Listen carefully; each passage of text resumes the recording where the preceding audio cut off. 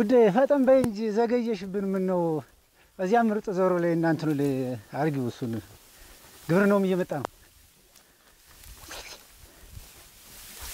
እስኪ ተልተሎ ብለን እንጨርስ ዝናብ ሳይመጣ እስኪ እሱን እቃውን እዚህ ላይ አርጊውና ግብርናው መጥቷል። ወደ ዘሩ ለብርሃኑ ስጠውና ወደ ዘሩ ልመለስ።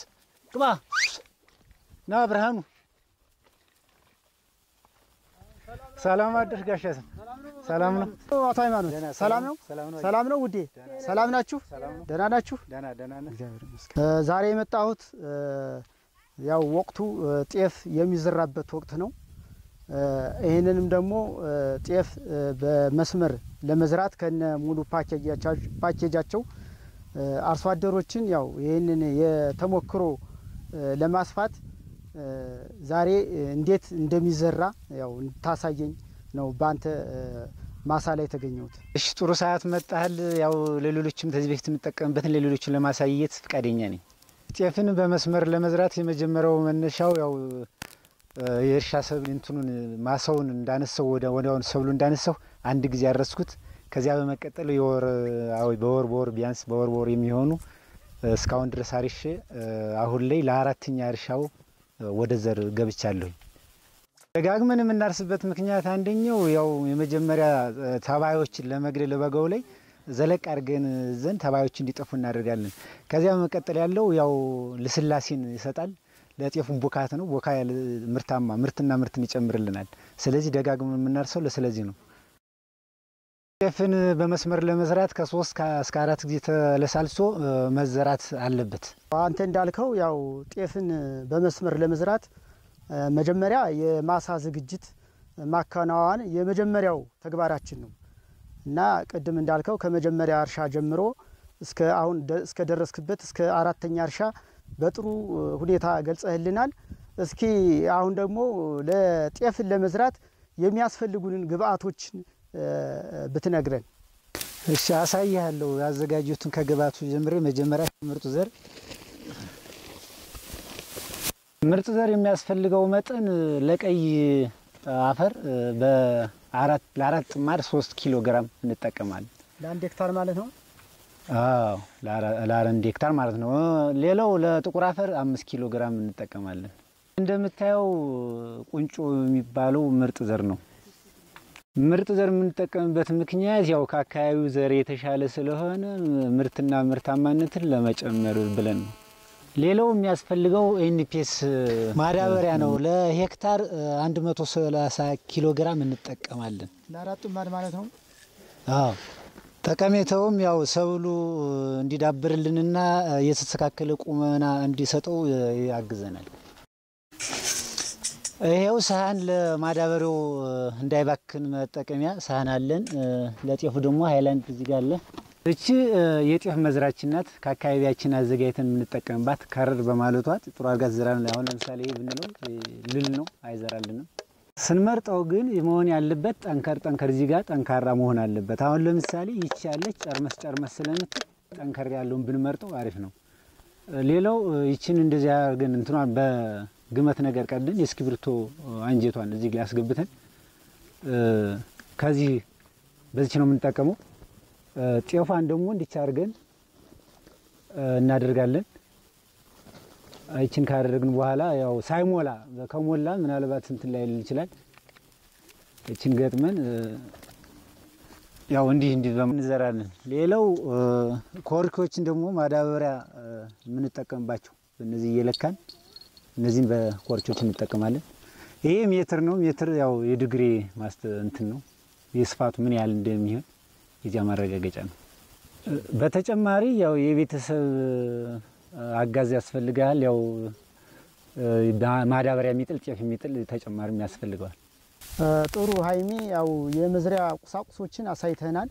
በተጨማሪም ደግሞ እንደዚሁም ግብአቶችን ያው ጤፍ ጤፍ ምርጥ ዘርና ማዳበሪያ አሳይተናል። አሁን ያው እንደየማሳ መጠኑ የተለያየ ስለሆነ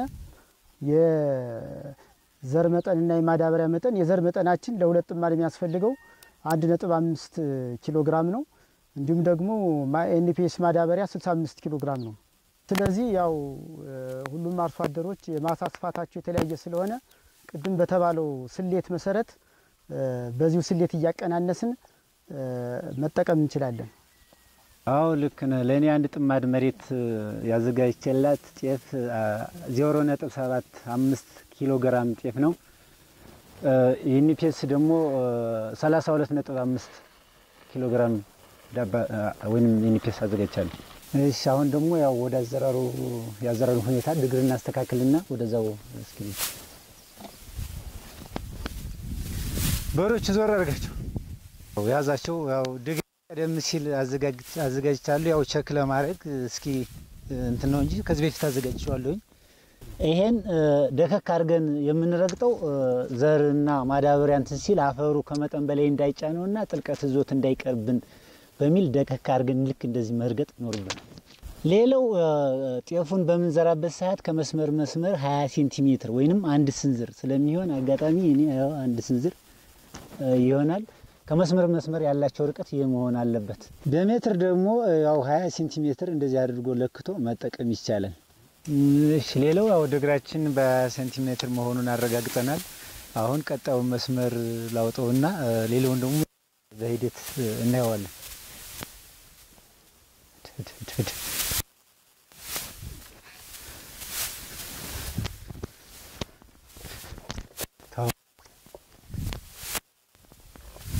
አሁን መስመሩን ባወጣንበት ሰዓት ቀጥታ መሆን አለበት። ቀጥ ብሎ መሄድ አለበት። ተው ተው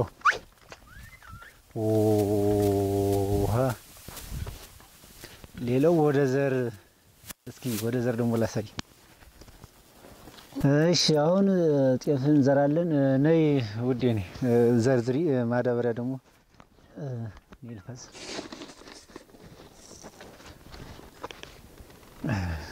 ማዳበሪያ ስንጠቀም ለአንድ ሜትር ግማሽ ኮርኪ ያስፈልጋታል። እሱ ስንጠቀም ካለ ለማረጋገጥ በእንትኔ እሱን ያዝልኝ። ለምሳሌ አንድ ሁለት ሶስት አልሞላም፣ አራት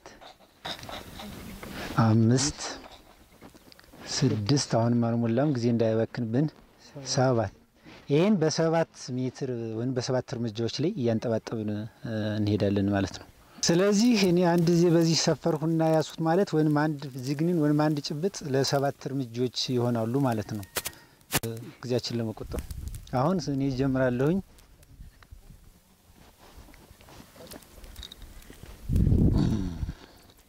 እኔ በዚህ በመሀሏ ላይ እያንጠባጠው ሄዳለሁኝ። እሷ ጤፏን በትንሽ ከፍ ብላ እየጣለች ትመጣለች ማለት ነው።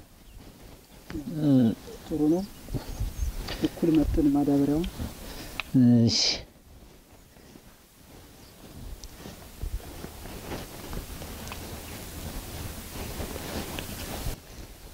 ጥሩ ነው። ጥሩ ነው።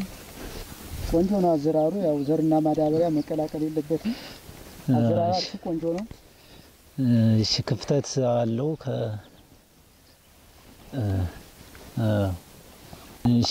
ቆንጆ ነው። ቆንጆ ነው። አጠቃላችሁ ቆንጆ ነው።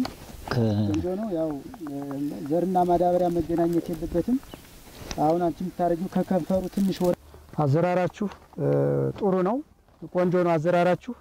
ዘርና ማዳበሪያ እንዳይገናኝ ያው ከከንፈሩ ትንሽ ወረድ ብለን ከሁለት እስከ ሶስት ሴንቲሜትር የዘር አዘራራችን ጥሩ ነው።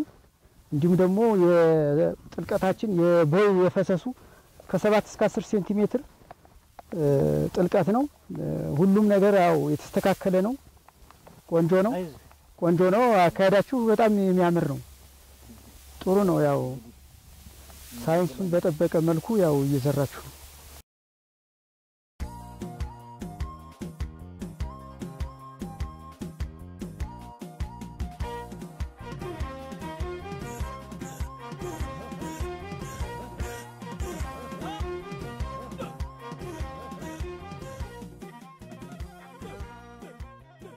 እሺ አሁን በሬው ላይ ሄደን አንተ ንዳቸው ጭና ልብስልኝ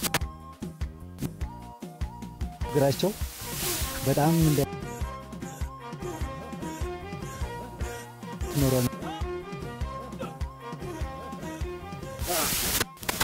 እኛ በዚህ መልኩ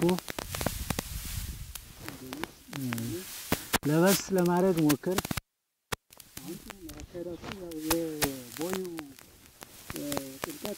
ከሰባት እስከ አስር ሴንቲሜትር ነው። እንዲሁም ደግሞ እሷ የዘር አጠጣሏም ከከንፈሩ ወረድ ብሎ ከሁለት እስከ ሶስት ሴንቲሜትር ያው እየዘራች ነው። አካሄዳችን ጥሩ ነው፣ ጥሩ ነው። ለማልበስ ሞክር። አንዳንድ ላይ ያዛቃታ ወርሻውን አሁን ልጁ እያለበሰ ሲሄድ አንደኛ ያን ያለብሰዋል፣ ለሁለተኛው ደግሞ ቦይ እያወጣ ይሄዳል ማለት ነው። እኛ ደግሞ እየተከተልን ከኋላ እየጣልን እንሄዳለን ማለት ነው። አለባብሱ ላይ በሬውን አስወጣው ከእግሩ ላይ አሁን ያለነው ጥልቀቱ በጣም መጥለቅም የለበትም። በጣም መጥለቅ የለበትም። ጥሩ ሆኖ ነው መልበስ ለባስ የተወሰነ መልበስ አለበት።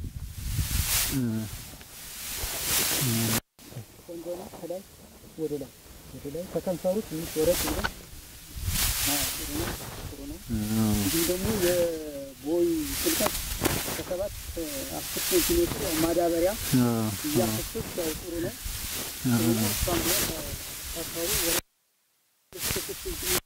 ጥሩ ነው። እስካሁን ድረስ ያው ያደረጋችሁት የማዳበሪያና እንዲሁም የዘር አሰራራችሁ ዘር አዘራራችሁ በጣም ቆንጆ ነው።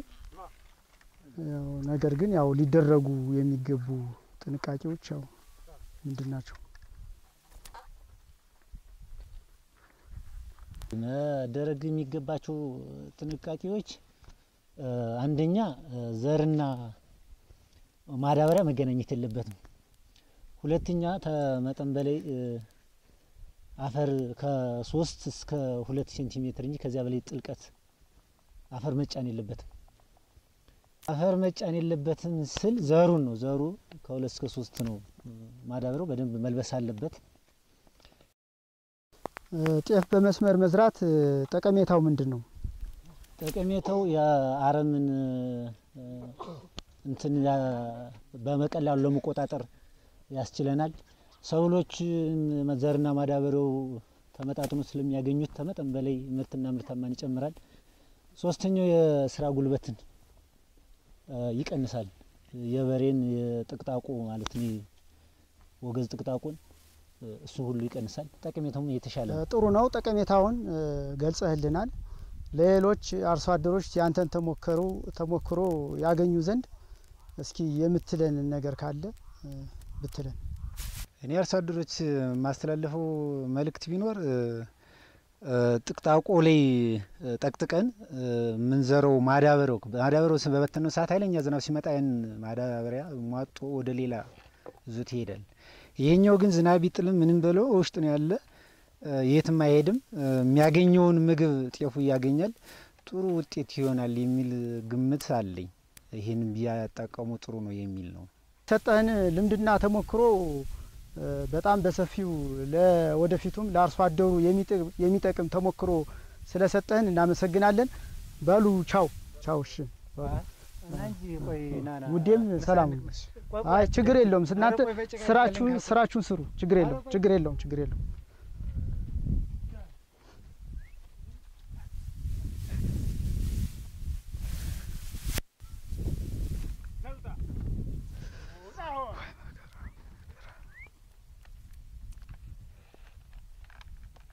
ጤፍ በመስመር ለመዝራት ሁሉም አርሶ አደሮች ሊተገብሯቸው የሚገቡ ዋና ዋና ነጥቦች አሉ።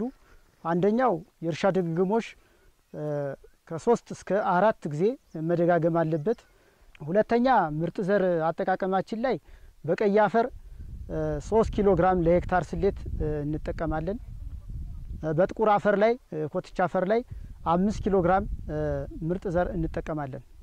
ሶስተኛ የማዳበሪያ አጠቃቀማችን ነው። NPS መቶ ሰላሳ ኪሎ ግራም ለሄክታር ሂሳብ እንጠቀማለን። አራተኛ ከመስመር መስመር ያለው ርቀት ወይም ከፈር ፈር ያለው ርቀት ሀያ ሴንቲሜትር መሆን አለበት። እንዲሁም ደግሞ የጥልቀታችን የአፈር ጥልቀታችን ማዳበሪያ የሚቀመጥበት ከሰባት እስከ አስር ሴንቲሜትር ነው። እንዲሁም ደግሞ ዘር ስንዘራ ከከንፈሩ ወረድ ብለን ከሁለት እስከ ሶስት ሴንቲሜትር ወረድ ብለን የዘር ስራ እናከናውናለን። ሁሉም ለአርሶ አደሮች ማስተላልፈው መልእክት ምንድን ነው? ጤፍን ያለ ጥቃጥቆ መዝራት ጥቅሞቹ አንደኛ የሰውና ጉልበት የሰውና የከብት ጉልበት ይቀንሳል። ሁለተኛ ደግሞ ስሩ እንደ ልብ የተክሉ ስር እንደ ልብ ስለሚሄድ በቀላሉ የአፈሩ ንጥረ ነገር ስለሚያገኝ ሰብሉ ጥሩ አቋምና ፍሬያማ ይሆናል። በሶስተኛ ደረጃ ለጎርፍን ለተለያዩ ነገሮች ለጎርፍ እንዳይታጠብና እንዳይጋለጥ ማዳበሪያው እንዳይባክን ይረዳዋል። በመጨረሻ በተጨማሪም የግብርና መረጃ ለማግኘት በነጻ የስልክ ቁጥር 8028 በመጠቀም መረጃዎችን ማግኘት ይቻላል።